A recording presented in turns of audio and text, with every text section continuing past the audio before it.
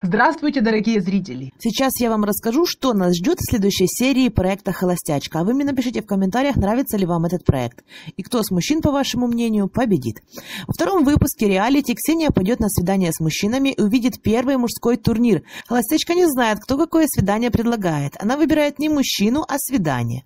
Один из участников решит украсть встречу с Ксенией прямо из-под носа у соперника. Другой затеет драку, а на турнире мужчинам нужно будет показать свои спортивные умения умение. Бежать полосу препятствий Ксении Мишиной на плечах. С кем холостячка не почувствует эмоциональную связь, отправить домой увидим уже скоро.